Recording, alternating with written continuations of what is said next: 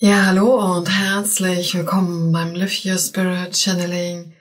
Schön, dass du mit dabei bist. Mein Name ist Silke und heute geht es um Botschaften und Energien von Meister Merlin, Erzengel Metatron, Meister Hilarion, El Moya und Sanat Kumara zum Portal am 5.1.2024. Und wenn du magst, kannst du dich jetzt mit mir zusammen verbinden mit Mutter Erde und dem Kosmos, um diese Botschaften noch intensiver wahrnehmen, spüren und vielleicht auch noch leichter in deinem Lichtkörper integrieren zu können. Stell dir dafür einfach vor,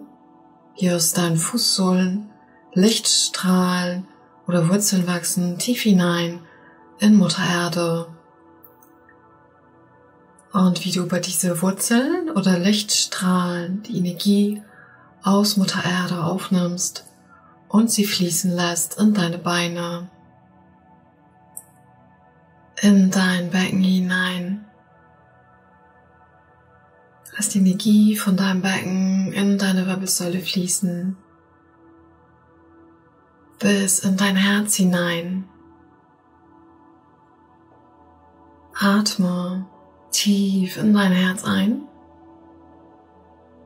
und wieder aus. Und spüre in deinem Herzen die tiefe Verbindung zwischen dir und Mutter Erde. Lass die Energie dann weiterfließen von deinem Herz in deinen Hals, von deinem Hals in deinen Kopf, und darüber hinaus in den Kosmos. Verbinde dich mit der Sonne, mit der Zentralsonne und spüre, wie die Energien fließen über deine oberen Chakren in dein Lichtkörper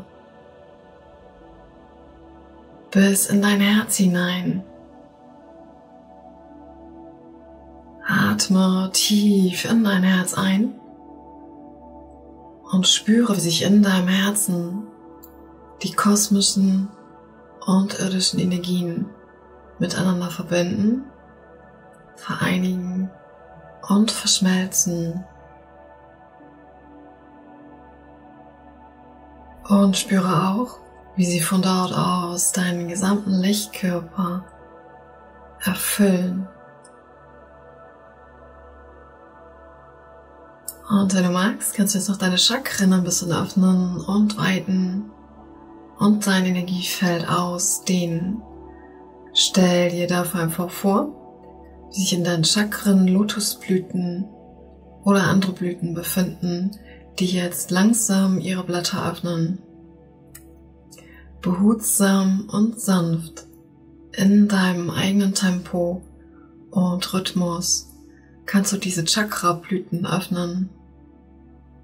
und spüren, wie die Energie des Lichtes und der Liebe, die Energie aus Mutter Erde und aus dem Kosmos einfließt auf deine Chakrablüten, die verschiedenen Schichten deiner Chakren von Chakra zu Chakra in deiner Aura und ihre Schichten deinen gesamten Lichtkörper, der sich jetzt immer weiter ausdehnt und kilometerweit um dich schwingt voller Licht und Liebe und sich so ganz automatisch verbindet mit anderen Lichtfeldern auf diesem Planeten und darüber hinaus. Spüre, wie durch diese Verbindung sich deine Lichtenergie potenziert. Und wenn du magst, atme noch einmal tief ein in die dich umgebenden Lichtfelder. Atme Licht in deinen Lichtkörper ein und wieder aus. Und vielleicht spürst du schon die Präsenz von Meister Merlin der jetzt zu dir sprechen möchte. Dies ist ein Teilaspekt von Merlin, der jetzt über dieses Medium zu dir spricht und dich begrüßt in diesem intensiven Channeling, welches dich synchronisiert mit den verschiedenen Schichten um Planet Erde und den irdischen Gefilden auf besondere Art und Weise. So kann es sein, dass es jetzt wichtig ist für dich in deinem Lichtarbeiter, Heiler oder Medium sein, eine neue Stufe zu erklimmen, in diesem Prozess im Aufstieg vom Planet Erde jetzt neue Gegebenheiten für dich selbst zu erkunden und neue Aufgaben zu diesem besonderen Portal zu empfangen bis zum 6.1.2024. So ist es ein zweigliedriges Portal, welches du jetzt durchschreiten kannst, um auf besondere Art und Weise neue Botschaften des neuen Morgens zu empfangen und dich darauf auszurichten, dass alles, was jetzt in dein Feld kommen mag, bis zum 6.1.2024 Botschaften und Leitlinien sind für das Jahr 2024. Vielleicht möchtest du dich mit meinem Aspekt verbinden und in deiner magischen Arbeit eine neue Energetik, eine neue Perspektive erzeugen. Dies meint verschiedene andere Tools für dich zu nutzen und die Magie auf einer oberen Perspektive übergeordnet für die Heilung von Mutter Erde und die verschiedenen Geschöpfe auf ihr jetzt einsetzen, falls es dein Wunsch ist. Möglicherweise werden in den nächsten Tagen oder insbesondere zu den nächsten Tagen verschiedene Symboliken, Kristalle oder übergeordnete Matrixstrukturen für dich erreichbar sein, die es dir erleichtern, in deinem Prozess voranzuschreiten und in der Heilung deines Körpers, deiner Bewusstheit oder des, die Heilung eines anderen Menschen, eines anderen Energiefeldes jetzt eine neue Energetik zu erzeugen. So werde ich an deiner Seite wandeln, um dies zu unterstützen auf besondere Art und Weise und es dir erleichtern in diesem Prozess mit den verschiedenen Kräften, wie beispielsweise die Drachen, die Einhörner, die Devas, Elben und Elfen, die verschiedenen Elementarreiche und Naturwesen jetzt noch leichter zugänglich zu finden über die verschiedenen Ebenen und in einer höheren Frequenz im 14-dimensionalen Herzbewusstsein, welches du möglicherweise jetzt für dich intensiver spürst in deinem Herzen und dich darauf ausrichten kannst, diese Herzfrequenzen zu integrieren in deinem Sein. Spüre, wie dich dein Herz öffnet wie eine Blüte und jetzt die Energien fließen können, die dich in dieser Herzöffnung und Veränderung deines Seins aus deinem Herzen heraus unterstützen können. So ist es ein Aspekt, dass ich für die Lichtarbeiter immer präsenter werde auf den verschiedenen Schichten und verbinde mit den übergeordneten Ebenen der verschiedenen Erzengel und verschiedenen Energien aus den Elohim und Seraphim. Die Zusammenarbeit zwischen meinem Aspekt und diesen Gefilden wird im Jahr 2024 intensiver und noch auf einer höheren Ebene gepusht, in dem Sinne, dass die Tugenden und Mächte anders in Erscheinung treten werden auf Planet Erde in Verbundenheit mit den Elementarreichen und Naturwesen, kannst du dich jetzt mit dieser Energetik verbinden und spüren, wie die Energien von Erzengel Metatron zu dir gelangen, während Erzengel Metatron jetzt direkt zu dir spricht.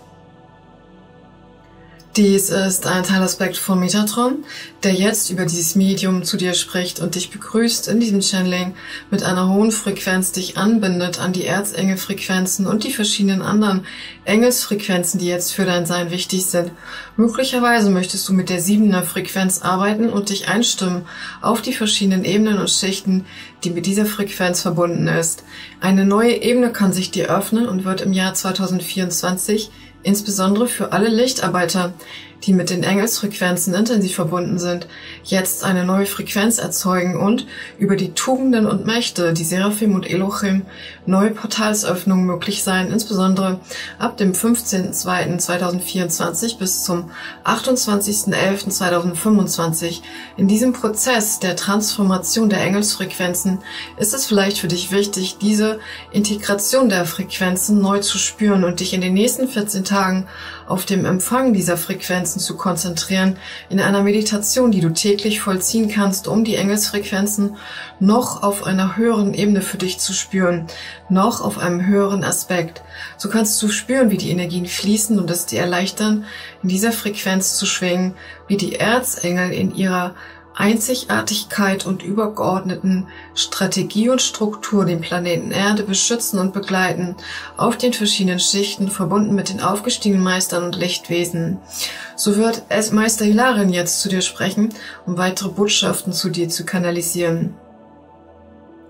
Dies ist ein Teilaspekt von Hilarion, der jetzt über dieses Medium zu dir spricht und dich begrüßt in diesem intensiven Channeling, welches dein Herz öffnen, reinigen und klären kann und dich in 2024 verbindet mit der großen Herzfrequenz der verschiedenen Aspekte von Liebe und ihren bedingungslosen Aspekten. Möglicherweise wirst du in 2024 erkennen, wie Bedingungslosigkeit in deinem Sein, insbesondere in Bezug auf die Liebe, ausschauen mag und du dich in dieser Frequenz verändert vorfinden wirst in deinem Sein. Vor allem die Ausrichtung aus deinem Herzen heraus, Liebe auszusenden und zu empfangen könnte für dich zu diesem Portal, aber auch im gesamten Jahr 2024 wichtig sein. So kannst du spüren, wie die kristallin smaragdfarbenen Frequenzen verbunden mit Magenta und Blau sich jetzt in deinem Energiekörper verbinden, um eine neue Frequenz zu erzeugen, des All-Eins-Bewusstseins und der übergeordneten Energetik, die durch die Körper auf die Erde fließt und jetzt eine neue Verbindung annehmen mag,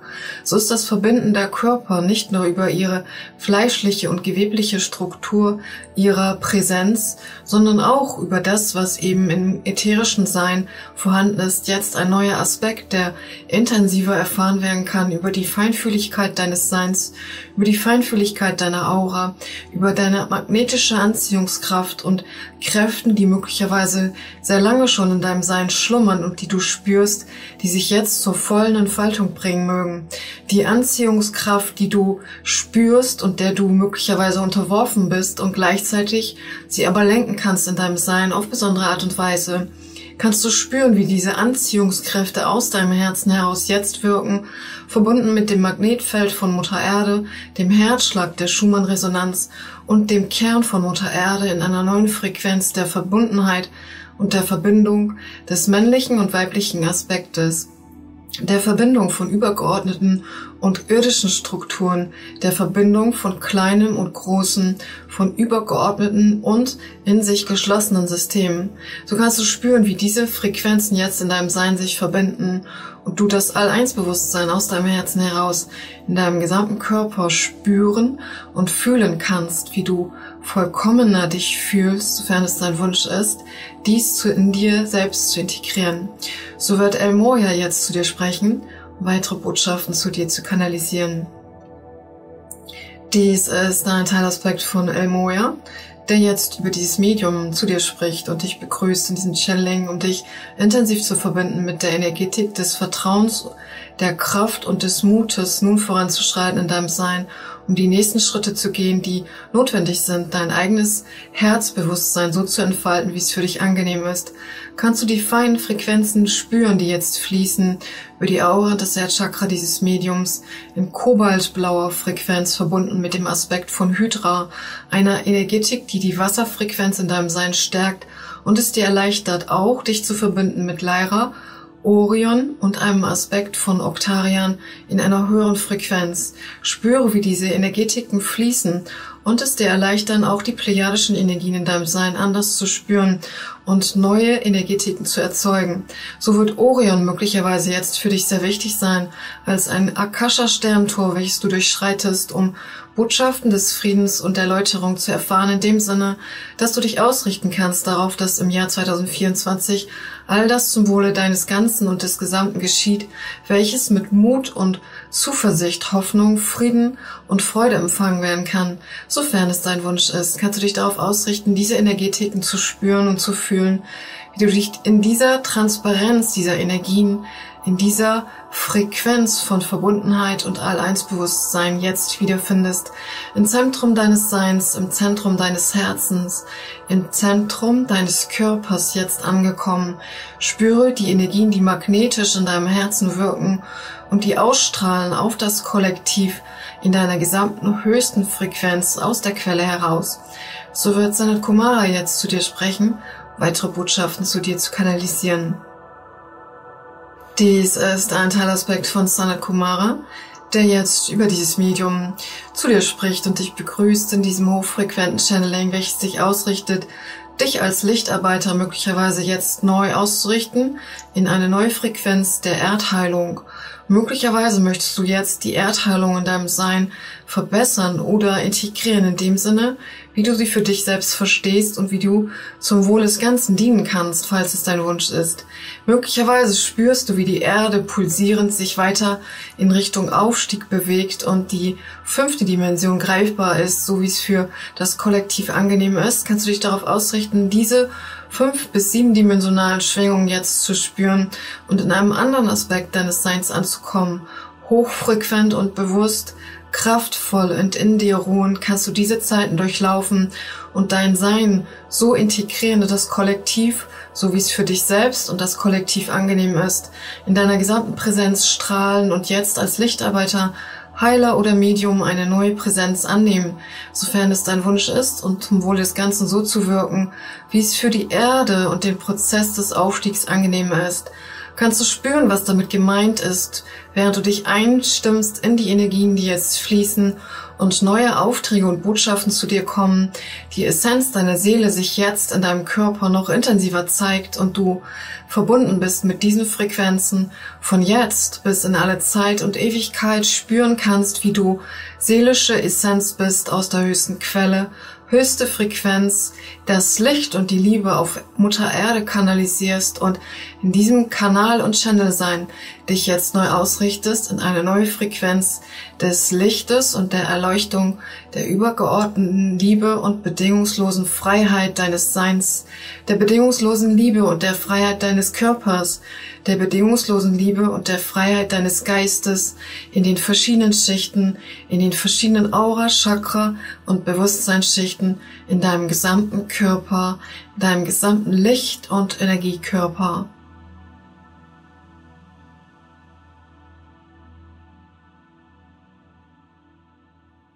Ja, das waren die intensiven und kraftvollen Botschaften und Energien der aufgestiegenen Meister und Lichtwesen. Und ich wünsche mir für dich, dass dieses Channeling dir dienlich sein mag. Ich danke dir ganz herzlich, dass du mit dabei warst heute.